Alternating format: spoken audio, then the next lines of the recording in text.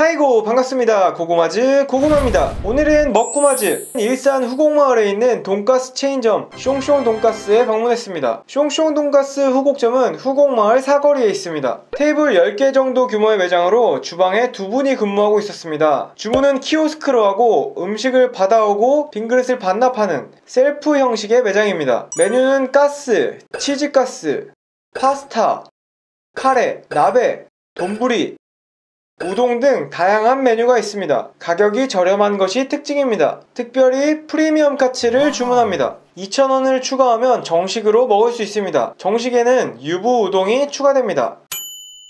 주문한 지 8분 정도 뒤에 프리미엄 카츠가 나왔습니다. 교환권의 번호를 호명하면 음식을 찾아오는 방식입니다. 프리미엄 카츠는 등심을 사용한 로스카스입니다. 돈가스는 두 쪽이 나옵니다. 튀김의 색깔이 먹음직스러운 노란색입니다. 위쪽부터 오이 피클, 깍두기, 고추지, 무 장아찌입니다. 모두 입가심에 좋은 반찬입니다. 갈색 돈가스 소스에는 깨가 조금 뿌려져 있습니다. 요거트처럼 보이는 흰색 소스는 와사비 마요 소스입니다. 히말라야 핑크 소금과 와사비입니다. 모두 돈가스에 곁들여 먹는 소스입니다. 밥은 흑미가 아주 약간 들어간 흑미밥입니다. 양은 한 스쿱입니다. 돈가스입니다. 먼저 소스를 찍지 않고 먹어봅니다. 염지가 약간 되어 있습니다. 고기를 두드리지 않아 두께가 있는 편입니다. 소스를 찍지 않아도 먹을만 합니다. 고기의 색이 하얗습니다. 돈가스 소스를 찍어 먹어봅니다. 달짝지근한 소스의 맛이 돈가스와 잘 어울립니다. 와사비 마요 소스를 찍어 먹어봅니다. 와사비의 매운맛은 거의 없고 부드러운 단맛이 느껴집니다. 돈가스 소스를 찍어 먹어봅니다. 소스에 깨가 조금 더 있었으면 좋겠습니다. 돈가스에 와사비를 올려 먹어봅니다. 코끝이 찡해지는 와사비의 맛이 좋습니다. 두 번 만에 와사비를 다 먹었습니다. 돈가스 왼쪽에 지방이 약간 있습니다. 지방이 아예 없으면 퍽퍽한데 지방이 약간 있어서 좋습니다. 소금을 올려 먹어봅니다.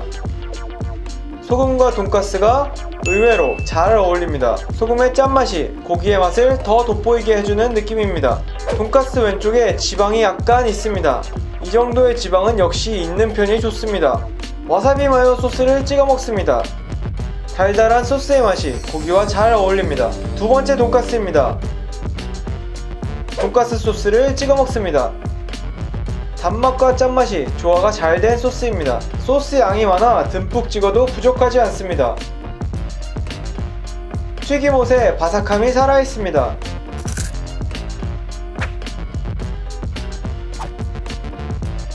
지방이 약간 있는 등심은 두드리지 않아도 부드럽습니다. 한번 소금을 올려 먹으니 자꾸 그렇게 먹게 됩니다.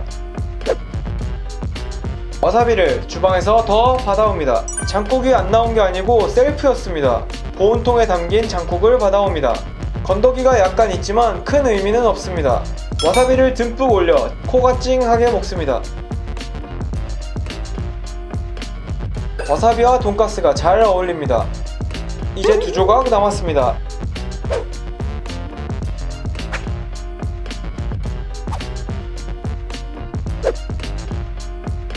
마지막 한 조각입니다.